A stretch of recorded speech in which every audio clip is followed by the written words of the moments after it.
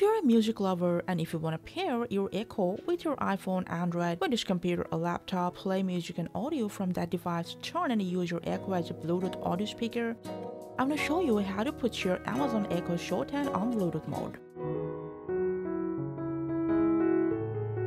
For that, open Bluetooth section on both of the devices. On your Echo, just swipe down the screen from settings, tap on Bluetooth.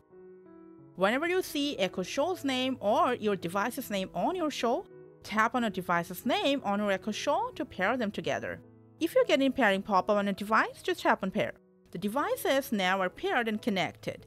Whenever you play anything on your paired device, the audio will be played through your Echo Show 10.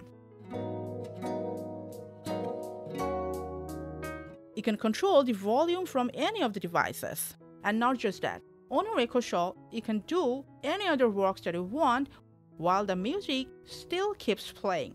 And lastly, if you're using Amazon Alexa app from devices, if you tap on Echo Show and go to settings from there, from these audio settings, you can customize your speaker sound settings right from here. That will apply to your Echo Show that's paired to your device.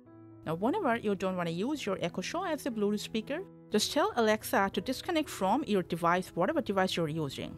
Alexa, disconnect my S24.